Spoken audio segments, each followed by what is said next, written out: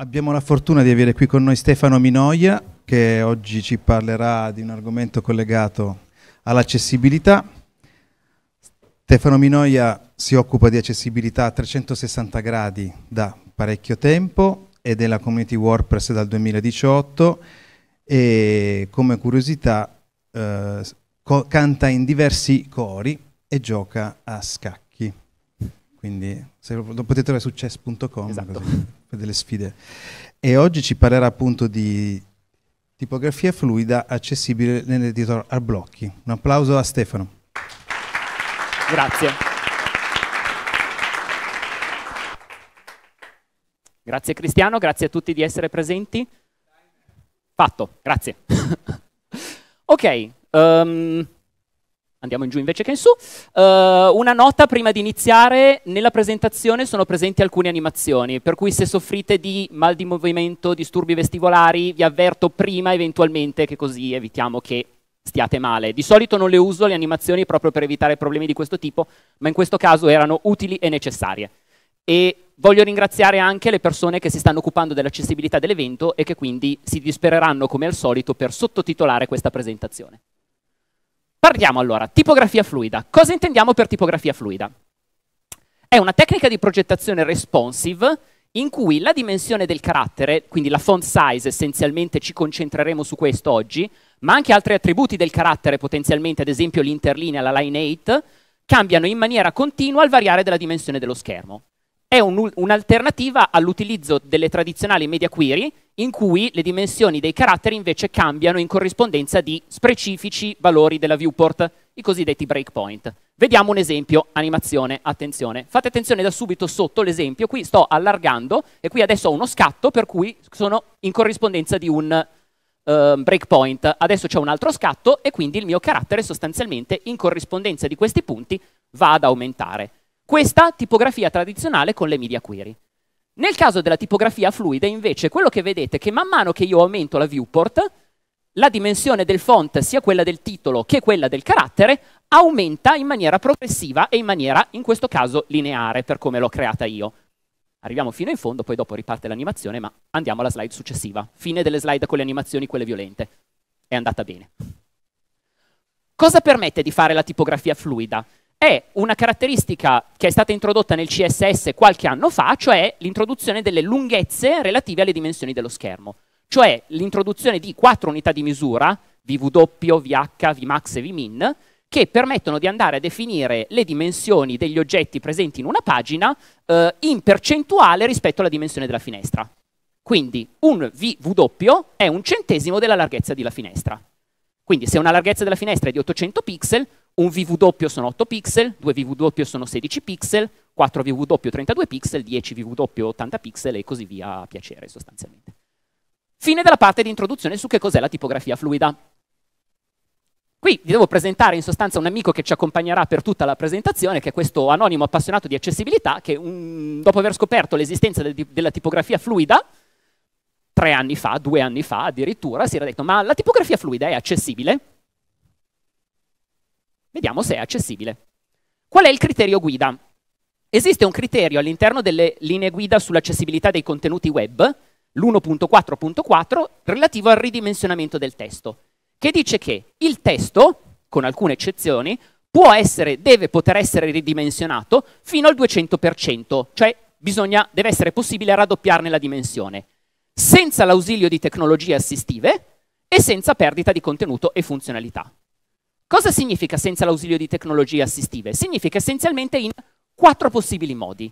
O andando a modificare la dimensione del testo tramite le impostazioni del sistema operativo, prima in alto. Ultima in fondo, o inserire nella pagina un controllo per cambiare la scala del contenuto, cosa che io sconsiglio di fare perché richiede una quantità di lavoro pazzesca, secondo me, utilizziamo quelle che sono le impostazioni del browser. Quindi ho la possibilità di andare a modificare la dimensione di base, oppure andare a utilizzare funzione, la funzione di zoom del browser che permette di andare a scalare il contenuto. Domanda, cosa succede quando cambio la, la dimensione predefinita? L'agnonimo non sa che cosa lo sta aspettando e in che cosa si sta andando a infilare. Ma allora qui vedete in sostanza che ho fatto una piccola animazione in cui vado a cambiare il font size, lo vedete nell'angolo in alto a destra, per cui passo da 16 pixel, che è la dimensione predefinita del browser, e vado ad aumentare, e man mano che aumento, quello che verifico è che di per sé il mio testo aumenta di dimensione. Questo è quello che io normalmente mi aspetterei che, che, mi aspetterei che succedesse, ma questo succede solo se uso delle unità di misura relative, quindi delle unità di misura che mi permettono di definire la dimensione della fonte, ad esempio, rispetto a altre caratteristiche, rispetto a delle caratteristiche intrinseche del carattere. L'unità di misura più utilizzata è la rem, quindi è sostanzialmente un'unità di misura che dipende dalla dimensione del, uh, font, del font root, quindi in questo caso 16 pixel se non faccio modifiche, cambiando la dimensione della root font cambia la dimensione. Dove salta fuori il problema? Il problema è che noi delle, di solito abbiamo a che fare anche con i designer che invece amano un'altra unità di misura, che sono i pixel. E il problema è che i pixel sono delle unità di misura assolute. Per cui se voi andate a definire l'unità di misura, la, la dimensione del font, come in questo caso, a 16 pixel, il pixel sono un'unità di misura assoluta e quindi è fissa.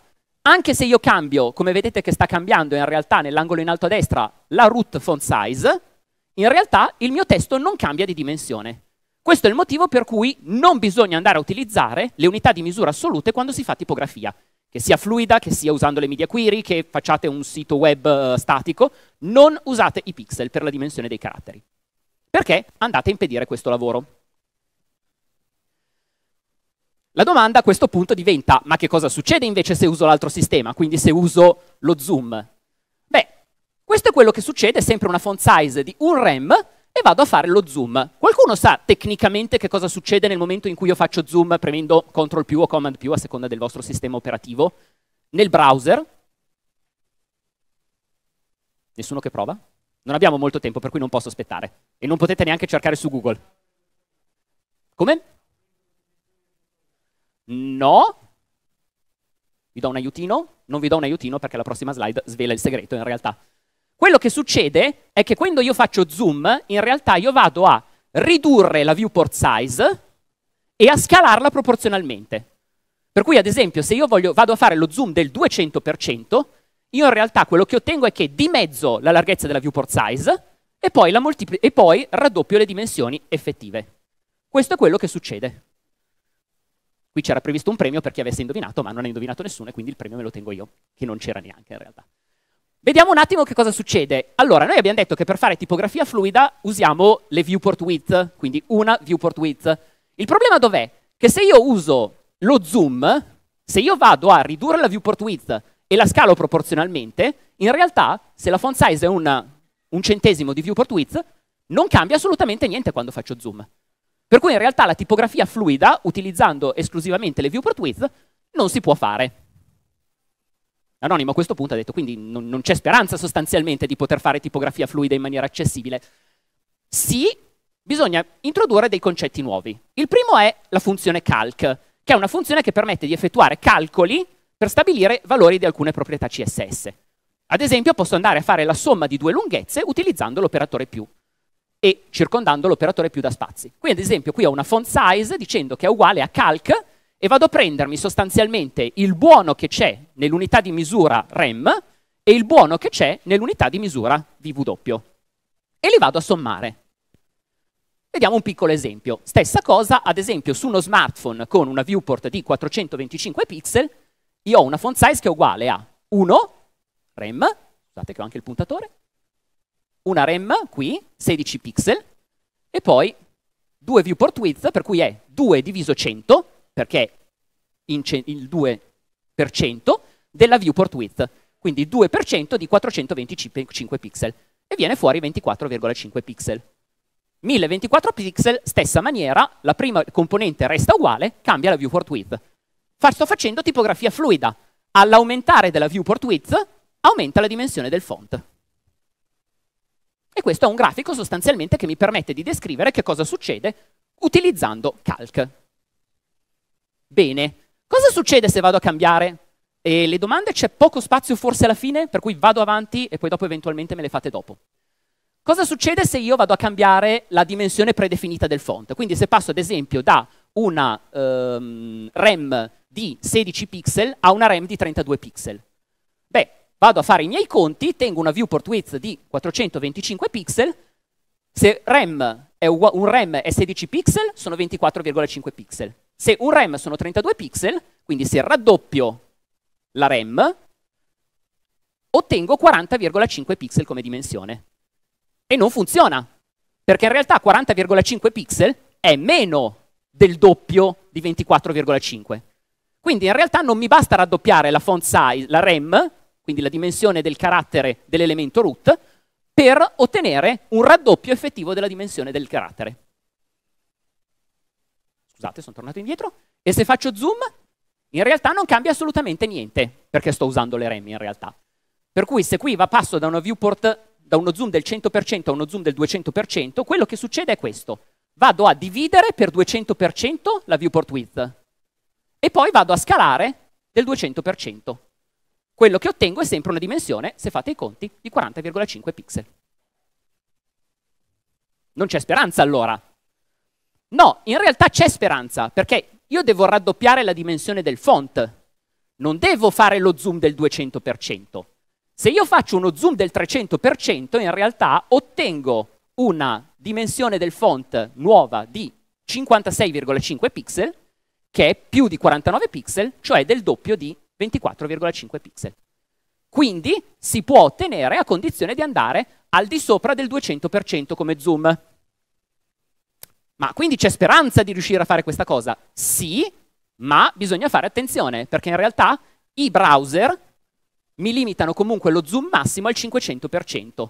E ringraziamo il fatto che Firefox sia passato negli ultimi due anni, anno e mezzo, dall'avere un zoom massimo del 300% a uno zoom massimo del 500%. Ipotizziamo di essere in questa situazione, per cui di avere una font size che è uguale a un rem più 7.5 viewport width. Al 100% è 73,6 pixel, qui stiamo parlando di oggetti che sono molto grossi all'interno della pagina, per cui titoli o cose simili. Con uno zoom del 500% la dimensione che ottengo è 137,6 pixel, che è meno del doppio. L'anonimo ormai non ha più parole, è pronto a rinunciare, ma in realtà cerchiamo di capire dove sta esattamente il problema. Il problema sta in due situazioni, sugli schermi molto piccoli e sugli schermi molto grandi. Sugli schermi molto piccoli il fattore che pesa di più è la dimensione dell'elemento root. Quindi se io uso un coefficiente della dimensione dell'elemento root che è molto piccolo, in realtà questo oggetto avrà un peso minore rispetto a questo. Mentre invece normalmente sugli elementi piccoli io voglio che sia il primo addendo che ha un peso maggiore. Tenete conto anche di una legge non scritta dell'accessibilità che prevede che sui dispositivi mobili per i testi lunghi, diciamo, non si debba scendere al di sotto dei 16 pixel come dimensione del font. Ma è una legge non, non scritta, non c'è scritto da nessuna parte. Volete scriverlo in 8 pixel, fatelo pure, secondo me non lo leggerà nessuno però.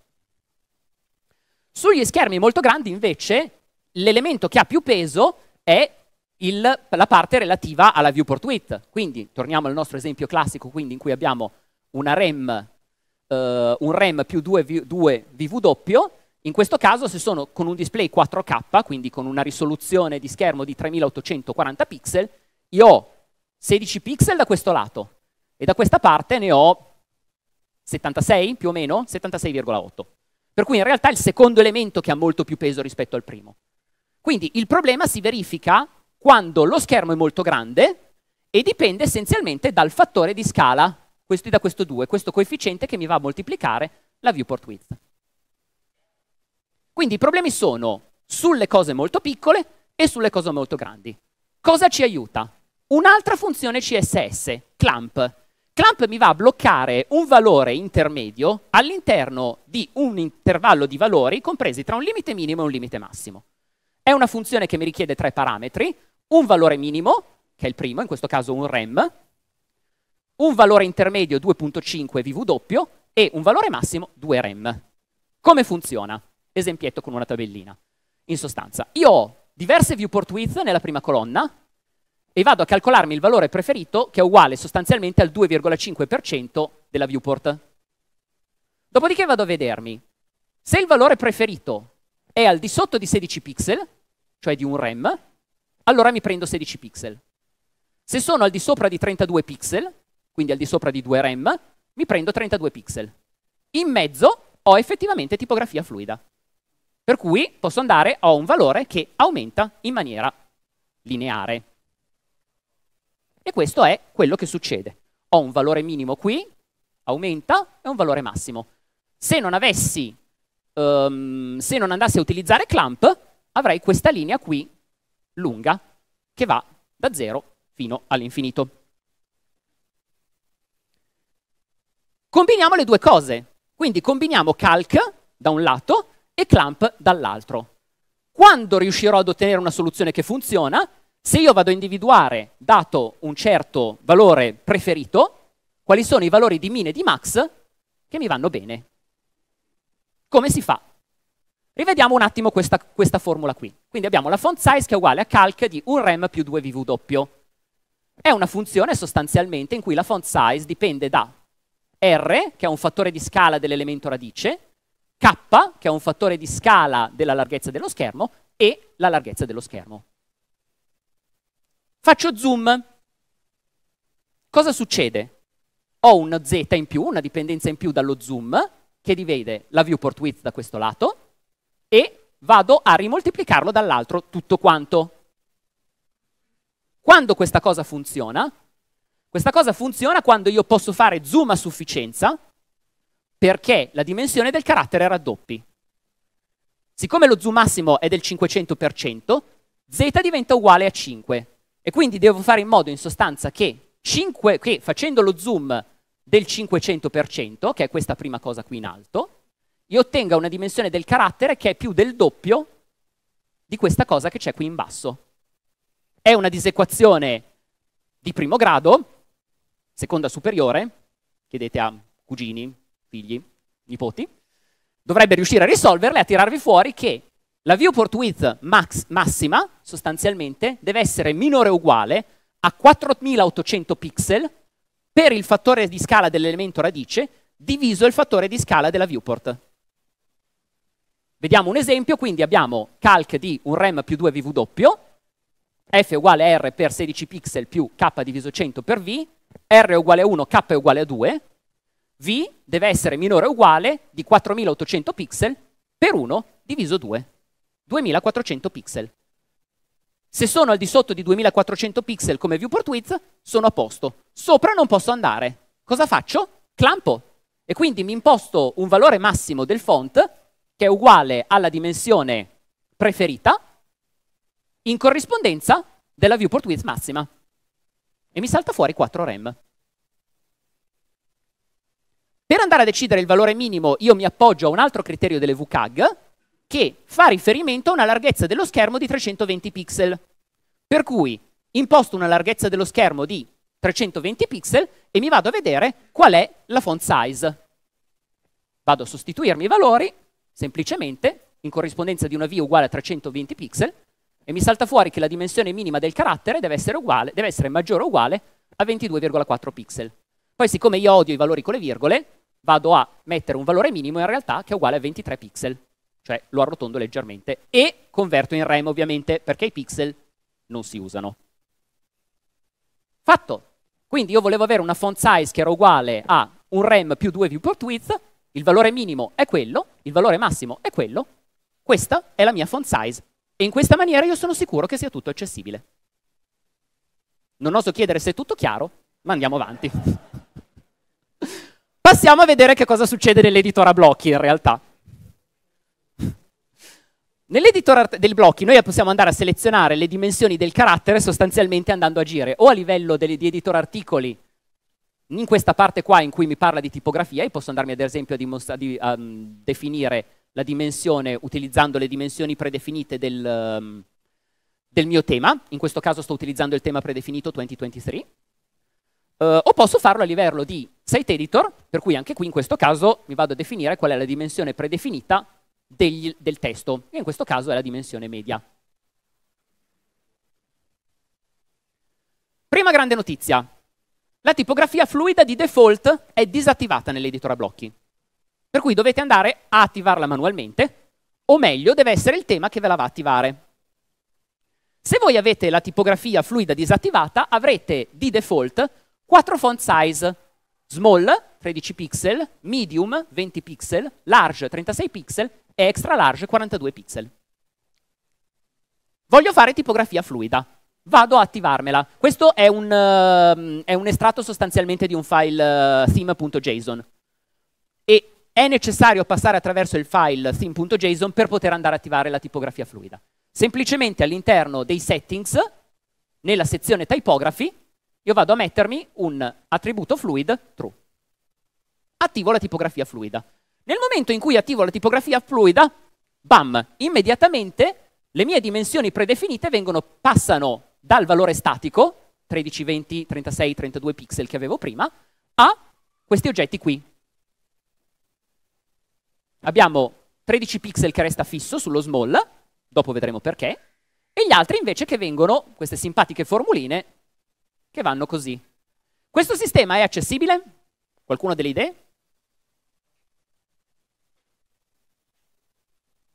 Vi siete persi alla slide numero 4 però se non sapete rispondere. no, perché? Pixel, giusto? Non c'è premio, continua a non esserci premio neanche per questa cosa. Il problema è che continuo a usare i pixel, per cui di per sé la tipografia di default non funziona. Per cui devo sempre andare a ridefinirmi sostanzialmente le font size utilizzando i rem. In quel caso, vediamo cosa succede. Quello che posso fare una volta che ho, andato, che ho attivato a livello globale la tipografia fluida, comunque, è andare eventualmente a disattivarmi la tipografia fluida su determinate font size. Ad esempio, voglio che la mia font size medium sia uguale a 1.25 rem senza essere fluida, va bene, lo faccio, vado semplicemente ad andarmi ad aggiungere un attributo fluid false all'interno della mia font size specifica. Quando io attivo la tipografia fluida, ho la possibilità di andare ad aggiungere alle singole font size che io mi definisco all'interno del theme.json dei valori fluid che sono min e max. Posso farlo, non è obbligatorio farlo, se non lo fate lui andrà a cal calcolarsi automaticamente i valori in una certa maniera. Ci arriviamo. Quello che dovete fare sempre e comunque però è andare a definire size. Se voi non definite size sostanzialmente salta tutto. Un'altra cosa che potete andare a fare per attivare la tipografia fluida è andare a impostare come valore di fluid all'interno di typography, quindi a livello globale per modo di dire, una min font size che di default è 14 pixel. Questa è stata una modifica che è stata aggiunta nella versione 6.2 di WordPress, perché nella versione 6.1 quel valore lì di 14 pixel era fisso e non modificabile. Adesso invece si può andare a modificare in questo modo qua. Se io ho una min font size di 14 pixel e vado a impostarmi una dimensione che è sotto la min font size, la mia font size non sarà fluida, per cui sarà fissa e pari a 13 pixel, che se vi ricordate è esattamente quello che abbiamo visto nella slide precedente. Torniamo un attimo sul concetto di clamp. Noi prima abbiamo detto che io andavo a clampare il valore effettivo, il mio valore preferito, all'interno di un valore minimo, di font size e di un valore massimo. Ma io posso andare a vedere questa cosa anche come un clamp della font size tra un valore minimo della viewport width e un valore massimo della viewport width che è esattamente il sistema con cui Gutenberg va a calcolare le font sizes. Cioè, io quando vado a mettere all'interno di un font size di definire il valore minimo e il valore massimo, questo valore minimo che io definisco è definito in corrispondenza di una viewport di 768 pixel, cioè 48 rem, e il massimo è il valore della dimensione in corrispondenza di una viewport di 1600 pixel, cioè 100 rem. Detto questo, io ho tutti gli ingredienti per fare i miei conti. Come si va a calcolare il font size fluido? Se non vado a definire sia il valore minimo che il valore massimo, quindi se li definisco entrambi non c'è nessun controllo, ma se ne definisco solo uno, vado a fare un confronto di size e a vedere se è minore della min font size. Se size è minore di min font size, font size non è fluido e il valore è pari a size. Ok? Per cui è sempre l'esempio di prima di 13 pixel che è più piccolo di 14 pixel. Se il valore massimo non è impostato, vado a prendermi il valore di size, che è il motivo per cui è sempre necessario andare a definire size all'interno, del, all'interno anche della tipografia fluida. Se il valore minimo non è impostato, Gutenberg prende come valore minimo possibile il 75% del valore massimo, per cui tre quarti. Dopodiché, se questo valore che io ottengo è più piccolo di min font size, utilizzo come valore minimo effettivo min font size.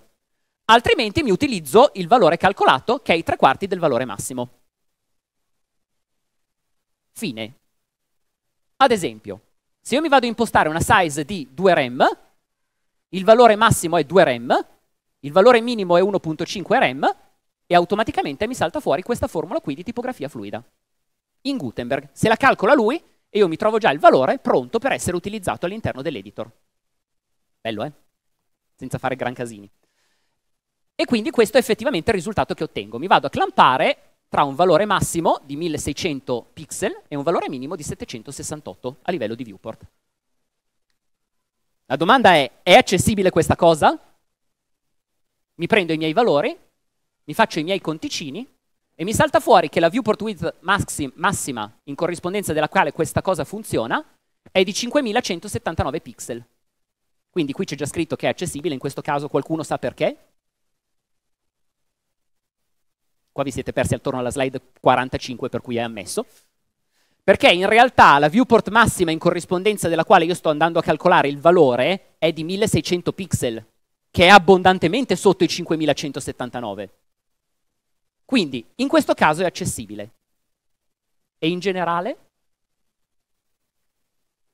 In generale, siccome di per sé i valori di, uh, generati da Gutenberg sono definiti tra una viewport minima e una viewport massima, 768 pixel e 1600 pixel, in realtà i soli parametri in gioco sono le font size minima e massima, o quelle che io ho definito, o quelle che Gutenberg ha calcolato per me.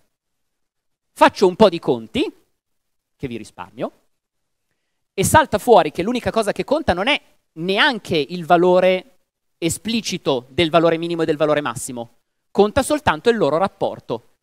Se il rapporto tra il valore minimo e il valore massimo è più grande di 0,48, io in Gutenberg sono sicuro di ottenere un font che è accessibile, o perlomeno che mi rispetta il criterio 1.4.4 delle VCAG.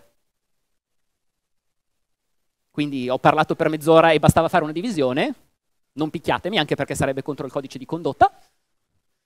La triste realtà è che questa cosa sarebbe facile, però ad esempio um, in 2023 esiste una quinta font size predefinita extra extra large, in cui il valore minimo è 4 rem, il valore massimo è 10 rem, 4 diviso 10, ce la potete fare? 0,4 che è più grande o più piccolo di 0,48? Più piccolo, quindi questa cosa non è accessibile. Peccato, ce l'avevamo quasi fatta e l'anonimo effettivamente sono io che sono tre anni che sto cercando di capire come funziona esattamente questa cosa. E sono stato nei tempi, è miracolosa questa cosa. Grazie mille. Grazie Stefano. Grazie Stefano. Devo una risposta. C'è una risposta? Ok. Una domanda? Una? Una domanda? Ok, perfetto. Ah, perfetto. Grazie. Nessun'altra domanda? Giacomo, grazie della domanda che non hai fatto comunque. Qualcun altro domande? Dubbi?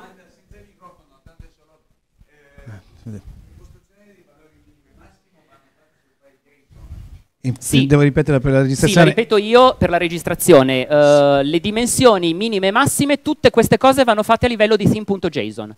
Non c'è modo a livello di interfaccia né dell'editor di articoli né del site editor in realtà perché queste sono le font sizes sono definite a livello di tema di andare a definire in questo momento, poi vediamo esattamente Gutenberg è in continua evoluzione, vediamo esattamente dove andrà, non c'è possibilità di andare a fare tipografia, di andare a definire questi valori senza utilizzare, utilizzare il theme.json. Provate a usarlo perché per l'appunto, cioè, se giocate con questa cosa e se avete il fegato in realtà di andare a guardarvi il codice di Gutenberg, perché tutti questi conti che io ho fatto sostanzialmente saltano fuori dal, dalla lettura praticamente della funzione di calcolo, um, è divertente perché si capisce esattamente tutto quello che viene fatto.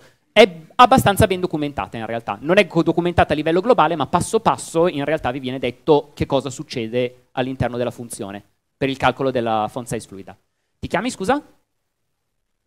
Ruben, grazie della domanda. Qualcun altro? Abbiamo ancora un micro tempo per una domanda. C'è una domanda. Eh, tutto ciò è applicabile a tutti i browser o ci sono eccezioni? Allora, tendenzialmente, allora io di solito utilizzo per i test, uh, ti chiami scusa? Gabriele. Allora, tu hai fatto già la domanda col microfono per cui non c'è problema. Allora, tendenzialmente io faccio i test utilizzando i browser principali, considerando che WordPress ha uh, tolto il supporto a Internet Explorer, un applauso per questa cosa. Cioè, tolto il fatto che non supportiamo più Internet Explorer, diciamo che i due grossi motori che ci stanno dietro sono quello di Chrome e quello di Firefox. Io di solito testo in Chrome e in Firefox, bisognerebbe testare anche altre cose. In entrambi i browser lo zoom massimo è del 500% e la possibilità di ridimensionare la font size uh, dell'elemento root va fino a 72 pixel, che è 4,5 volte 18 pixel, per cui in realtà è per quello che io ho sempre utilizzato, non ho più fatto riferimento alla possibilità di aumentare la dimensione dell'elemento root, perché in realtà la, la, dimensione di font che si riesce a ottenere in quel caso è comunque, l'effetto è minore rispetto a quello che si ottiene facendo zoom e l'effetto è quello del 500%, per cui per l'appunto da quando Firefox ha portato lo zoom massimo dal 300% al 500% l'effetto è sostanzialmente lo stesso in tutti i browser. Prima no e di fatti per un certo periodo di tempo questo era un limite ulteriore rispetto a questo limite che già c'è. Grazie Stefano, ancora un applauso a Stefano Minoia. Grazie.